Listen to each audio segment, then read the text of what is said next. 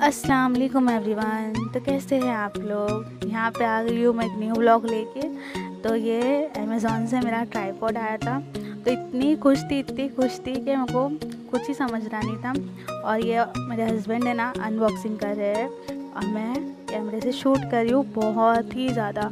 मतलब बोलते ना, बहुत अरसों बाद अगर कुछ ख़रीदो तो कितनी अलग ही खुशी रहती है तो वैसी। और ये कुछ सिक्स हंड्रेड सिक्सटीन का है डी टेक का। अच्छा है बट ये लाइफ टाइम तो नहीं चल सकता। मतलब चले, बस एक डेढ़ साल भी चले तो अपना पैसा वसूल हो ही जाएगा। और यहाँ पे देखिए कितना अच्छा है, ये तीन उसके जो स्टैंड है ना, खुलते हैं बहुत ही। दो महीने से मैं वेट करी थी, दो महीने से कि कब ख़रीदूँ कब ख़रीदूँ। और फाइनली ये आ ही गया। देखिए कितना मस्त है। तो यहाँ पे इसके आने की खुशी में मैं आज बना रही हूँ। रस मलाई और बहुत ज़्यादा खुश थी। मतलब एकदम अलग ही लेवल की एक्साइटमेंट रहती है जब आप फ़ोन कुछ ऑनलाइन ऑर्डर करो।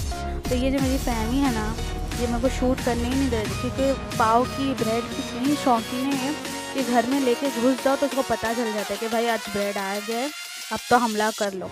तो यहाँ पे देखिए, वो मेरे को शूट ही नहीं करने दे रही तो मैंने ना उसको पहले थोड़ा सा टुकड़ा खिलाई।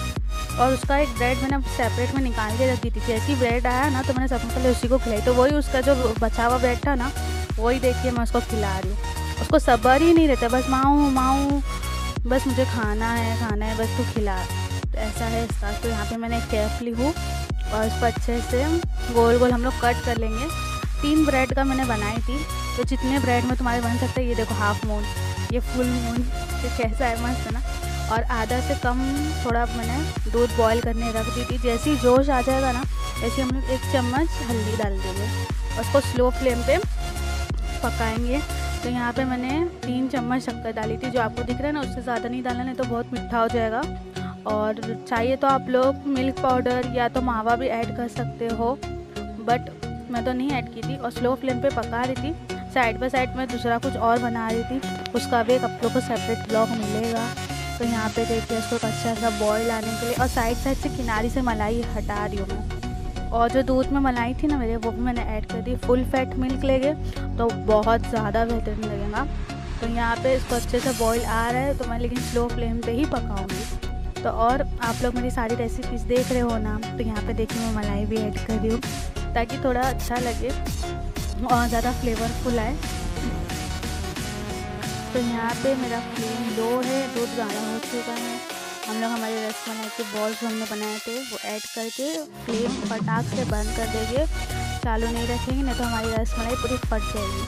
और बॉल को अपनी अपनी जगह पर हम लोग प्लेस करके ऊपर से पूरा जो दूध बचा कुछ है, वो ऐड कर देंगे। ये मूवमेंट पे ऐड करने के बाद, अच्छे सेट होने के बाद हम लोग इसके ऊपर कोई भी ड्राई फ्रूट काजू बादाम मैंने तो काजू बादाम दोनों ली थी बट वो क्लिप मेरे से डिलीट हो गई। तो यहाँ पे हम लोग सब ऐड करके इसको ठंडा होने देंगे रूम टेम्परेचर पे आने देंगे। जैसे ये रूम टेम्परेचर पे आ जाएगा, आप लोग इसको फ्रिज में रख के खाइए, बहुत दिन लगता है। यकीन मानो आप लोग बाहर से मिठाई लाना भूल जाओगे। और यहाँ पे देखिए, मस्त लग रहा है ना अभी तो चलो, चलती हूँ। और हाँ जिसके पास पेट्स है, जिसके पेट्स पाव, रोटी, दूध खाते मुझे कमेंट सेक्शन में ज़रूर बताए। तो चलती हूँ। दुआ में याद रखिएगा। अल्लाह हाफिज़। बाय। फिर मिलूँगी एक न्यू रेसिपी के साथ। जब तक के लिए स्टे कनेक्टेड याद रखिए अपनी दुआओं में। और यहाँ पे देखिए मैं क्लिप जोड़ रही हूँ रसमलाई की। छोटी सी है। गार्निश के बाद कितनी ब्यूटीफुल लग रही है। और ये फ्रिज में सेट होने के बाद की है हाँ